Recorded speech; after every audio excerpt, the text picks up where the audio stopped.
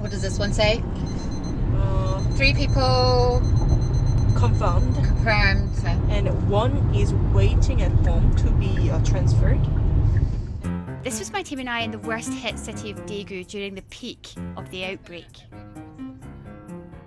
COVID 19 carriers were tracked using the GPS on their mobile phones and by checking their bank records.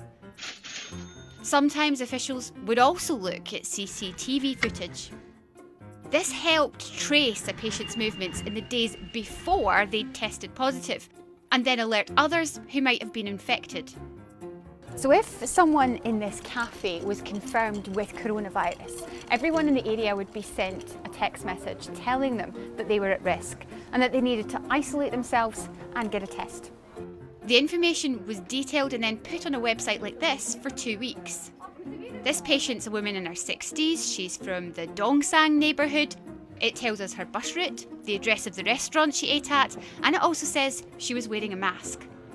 The law allows this information to be released when an infectious disease threatens the country. 그 정도는 제공을 해야 된다고 생각을 해요. 왜냐면은 저도 그렇고 제 친구들도 그렇고 확진자가 어디서 발생이 되면은 저도 인터넷으로 그 동선을 찾거든요.